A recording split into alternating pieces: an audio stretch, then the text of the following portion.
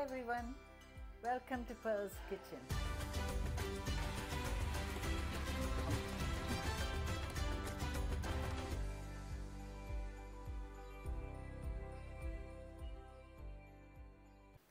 Let us all thank God for carrying our burdens. Amen. Today I'm going to show you how to make vegetable pakoras. And uh, I've already showed you how to make onion bhajis and aloo bondas. I'll put the link of those two um, in the description box. But for the vegetable pakoras, here are the ingredients. In the karai here I've got oil, deep fried for deep frying. And as it's vegetable pakoras, you can use as many vegetables as you want. But this is what I'm putting today. I've got one sliced onion here, one cup of uh, spinach that I've roughly chopped, half a cup of cabbage that I've grated, got two tablespoons of mint, and I've got a big fistful of green coriander, I've got an inch of ginger that I grated, I've got five green chilies that I've chopped, you could put less if you don't want it hot, and we'll need one potato, and I've got two brinjal here that I'll cut in last, put in last, and for the masalas here I've got half a teaspoon of red chili powder. You could put less if you want. Got half a teaspoon of cumin powder. That's jeera half a teaspoon of coriander powder that's dhania powder half a teaspoon of garam masala got around half a teaspoon of salt and here I've got one teaspoon of crushed mixed uh, coriander seed and jeera seed which I actually I roasted it on the frying pan and then crushed it with the rolling pin so that made it, it made it into one teaspoon. That's a mixture of crushed uh, coriander seed that's dhania seed and jeera seed and here I've got a quarter teaspoon of haldi that's turmeric qu quarter teaspoon of amchur powder that's dry mango powder. I've got quarter teaspoon of ajwain that's carom seed. And I've got a quarter teaspoon of chaat masala here. And I've got one teaspoon of lime juice.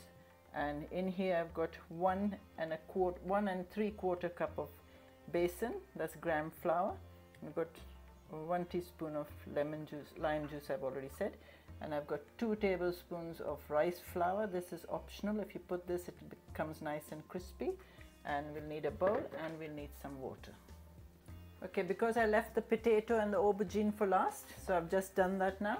I just grated the potato and chopped the aubergine into small pieces. So we take a bowl now and we start mixing all the vegetables first. So put the potatoes in here first and the brinjal, brinjal, aubergine, whatever you want to call it. Give that a mix and now slowly, slowly add everything. If you add the green chilies first and the ginger. Just keep mixing it as you go along. And have the onion.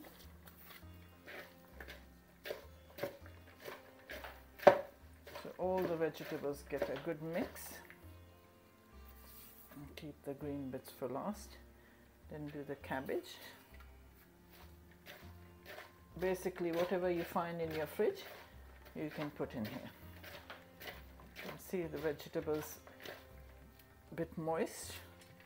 Now you use the, put the spinach, mint, and green coriander.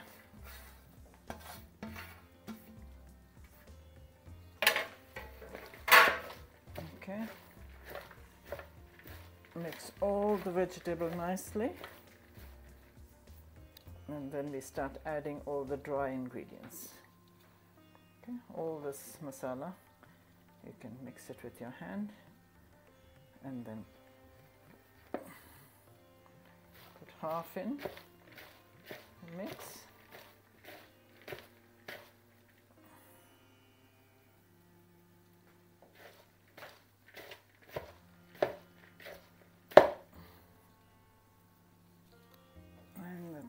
That's masala's done. Again, give it a good mix with both your hands. And put the one teaspoon of lime juice. Give that a mix. And then put the rice flour.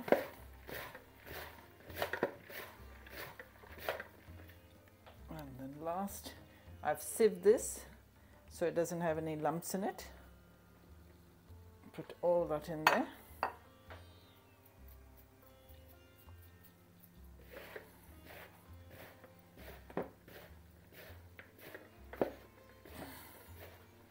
Okay. Mix that.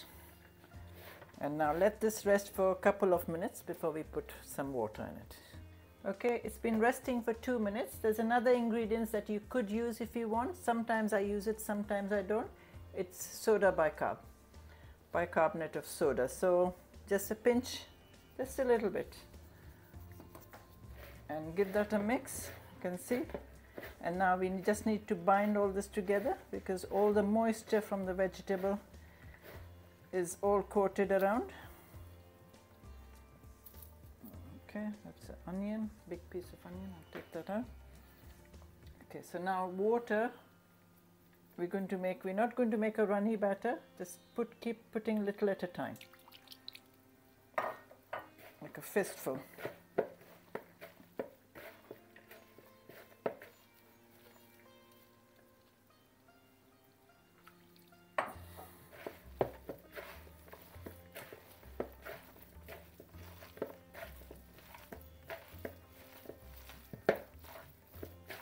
So maybe just three fistfuls you need.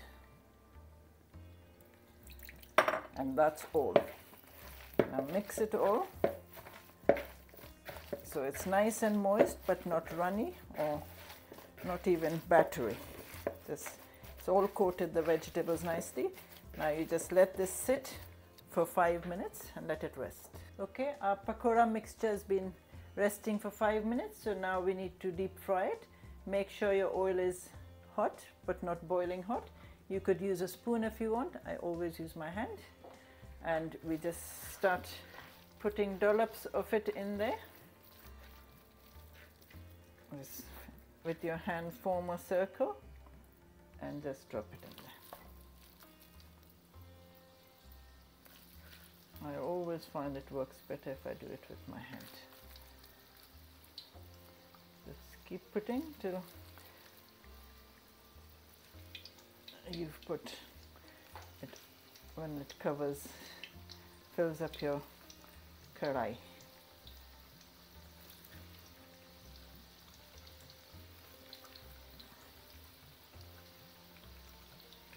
These are so delicious when you're having a party. You could actually make this one day before as well and then just warm it up in the microwave or freshen them, heat them up again in the oven.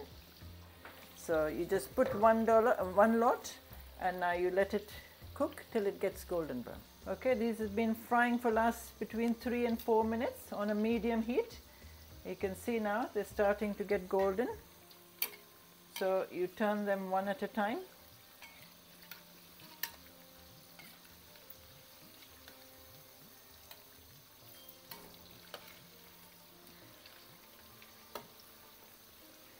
Be careful because the oil is quite hot.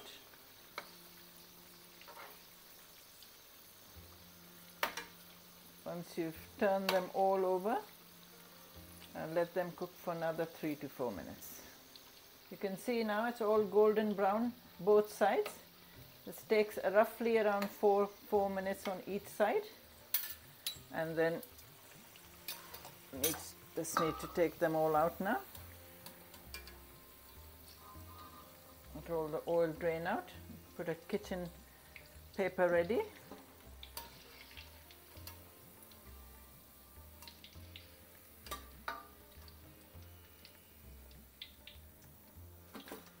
And that's your first batch ready. And now we put the second one again. Again.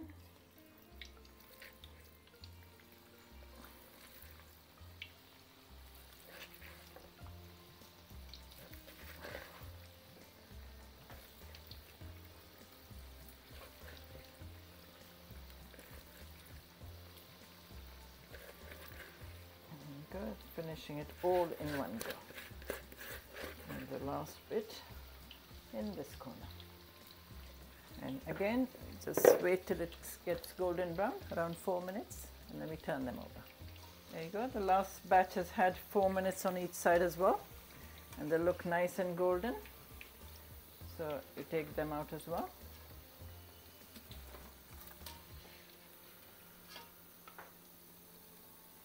The oil drain out.